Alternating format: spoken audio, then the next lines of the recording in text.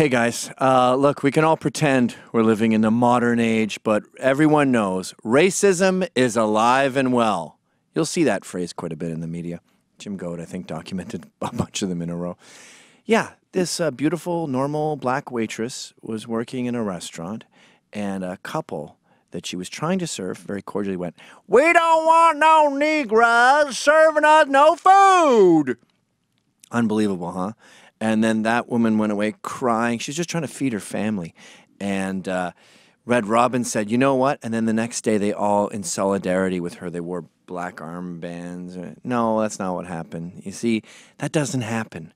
But we want it to happen so badly. There is a huge demand for bigotry and prejudice. And there's a huge demand for victims. Not only do we want there to be evil people out there saying, no, thank you, I don't like you, you're different. Not only do we want that, but we also want to be the victim. We want to be the one, yeah, I was just a, a hard scrabble lady, just trying to feed my family. And they said, get lost. And they, beat, they did beat me so. They did give me 20 lashes. Sorry, not going down. And when it does go down, when you do find a few exceptions, nah, they never fit the story. They're always black or immigrant, or if there's a race war, it's Mexicans. And I want like evil racist people, and I want to be a victim, but I'm white. I know.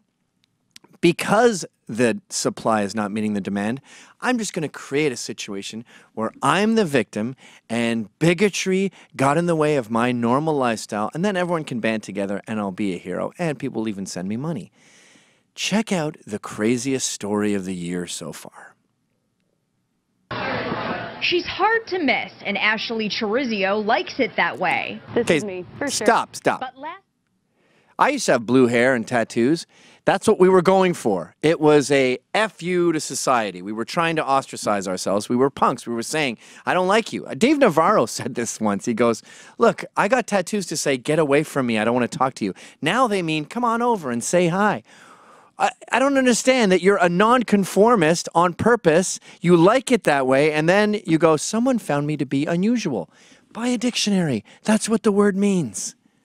Go ahead. Saturday, in the middle of a busy dinner shift, a manager told the 24-year-old one of her customers asked for a new server. He says um, she doesn't like the way you look. She doesn't like what you represent. You know, the tattoos, the hair, the piercing. Okay, so can you just stop for a second? So I don't know if you know this, lady, but your hair and your tattoos in 2016 represent a social justice warrior. They don't represent someone who's for Trump. They tend not to be very patriotic.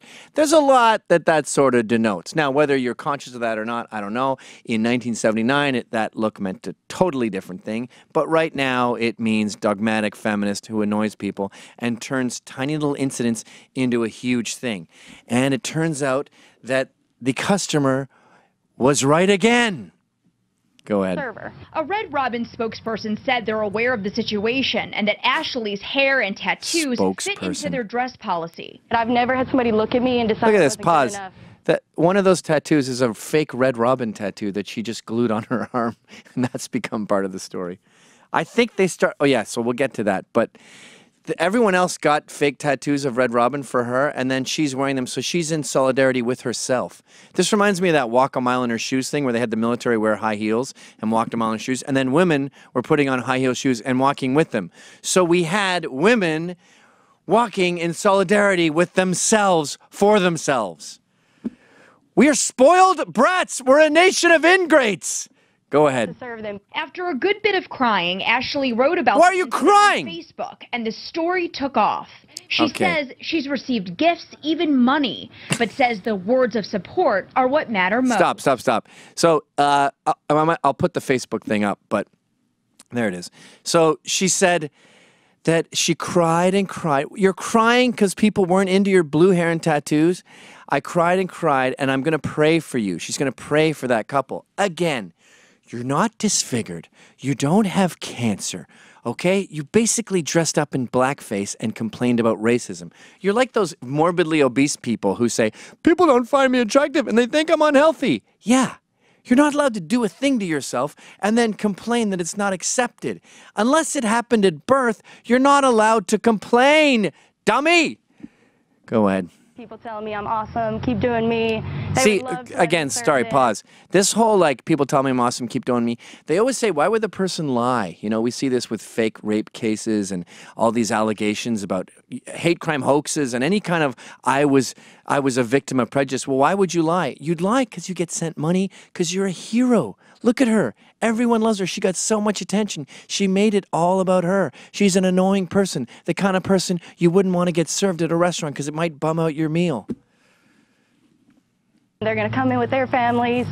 It's just 100% like overwhelming happiness and positivity from the community. No, not 100%. has received community support, and also her coworkers here at Red Robin are showing their solidarity. Okay, stop, stop. You know when a little kid has cancer and they go through chemotherapy or something? By the way, that is incredibly heartbreaking, but the good news is those kids tend to beat it much more than parents do, much more than adults. So they go to school and they're bald. And they're bald because of the chemotherapy. So then other kids in the school shave their heads in solidarity. That's awesome. That's really cool. That's really heartwarming. That's a community getting together.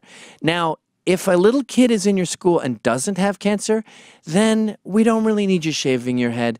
I'm sorry, but you can't be part of one of the. If you try, you're just virtue signaling, okay? So if you're not needed in a social justice thing, I'm sorry, you don't get to be a freedom rider. You don't get to be part of this thing if there's no bad thing that you're fighting. You can't just invent it out of thin air and then make it the kid with cancer overnight. Look at this. In a very colorful way.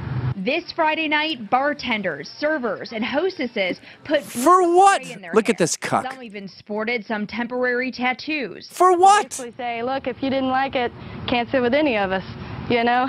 Because now we all have blue hair and tattoos. You're a black kid with cancer now will who help is a, also a burn victim with a cleft person palate. Who doesn't look like they do. Jessica Jaglois, All right. News 2 at 10. Now, I get that the supply of bigotry does not meet the demand. But what I don't get is why is this their massive demand? Why are we so determined to make the West look like an evil, prejudiced, racist hellhole? Why?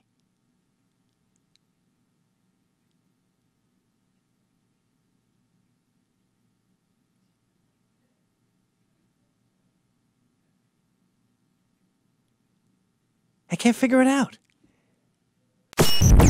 Did you like that? Okay, check it out. I got a whole comedy show called How's It Going, A. You just have to click right here to subscribe.